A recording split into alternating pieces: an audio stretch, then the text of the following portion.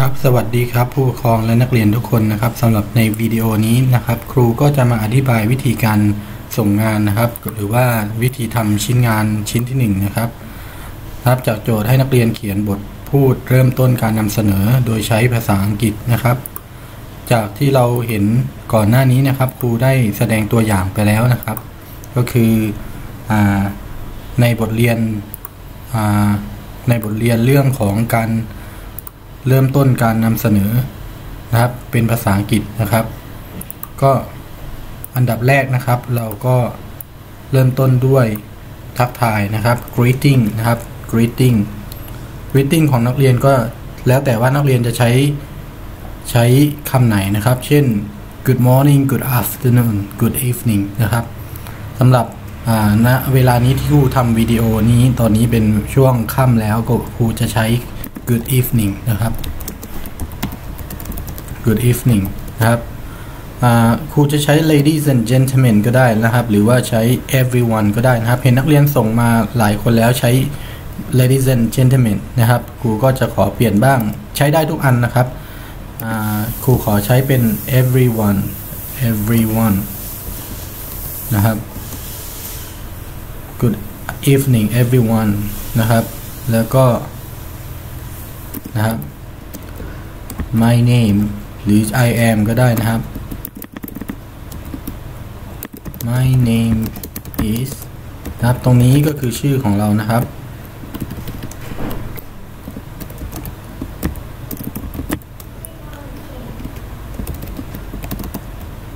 ครับ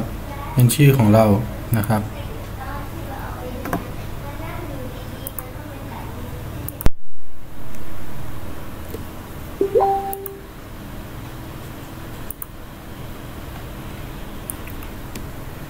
ครับหลังจากที่ทักทายเสร็จแล้วนะครับ ทักทาย good morning good afternoon good Good evening นะครับ แล้วแต่นะครับตามตัวเลือกที่ครูให้ไว้ก่อนหน้านี้นะครับที่ครูสอนไปนะครับ ก็ต่อด้วยการแนะนำตัวเองนะครับว่าเราเป็นใครนะครับ แนะนำตัวเองว่าเราเป็นใครนะ หลังจากนั้นนะครับ หลังจากที่เราแนะนำตัวเองว่าเราเป็นใครแล้วนะครับ เราก็บอกว่าเรามีตำแหน่งอะไรเป็นหรือว่าทำงานอะไรหรือว่าถ้าเป็นนักเรียนเราก็บอกว่าเราเป็นนักเรียนนะครับ ครูเป็นครูก็ครูก็บอกว่า I am a teacher นะครับนะจากนั้นเราก็เริ่มบอกว่าบอกว่าหัวข้อที่เราจะนำเสนอเป็นอเป็นหัวข้ออะไรนะครับ ครับ เราก็จะพูดว่า today I would like นะครับ อันนี้คุณเลือกใช้แตกต่างไปบ้างครับ I would like to talk to you about นะครับ about assignment นะครับ about assignment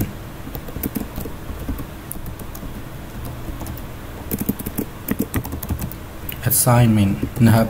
ครูจะพูดเรื่องงานของเรานะครับ หรือว่าครูจะนำเสนอเรื่องงานชิ้นงานของเรานะครับ ในวันนี้นะครับนะครับก็เป็นอันเสร็จสิ้นนะครับว่าในขั้นตอนการเกิดนำเป็นแบบง่าย ๆนะครับสำหรับนักเรียนระดับประถมนะครับ ที่ไม่จำเป็นต้องมีคำพูดอะไรเยอะแยะมากมายนะครับ ให้ให้พอรู้เรื่องนะครับ มีสเต็ปของการเริ่มต้นการกล่าว ทักทาย การแนะนำตัวเอง แล้วก็บอกว่าเราทำอะไรเป็นใครนะครับ แล้วก็พูดต่อด้วยการบอกระบุหัวข้อที่เราต้องการที่จะนำเสนอนะครับนะวิธีการทำก็เท่านี้นะครับ เดี๋ยวครูขยายให้ โอเคนะครับ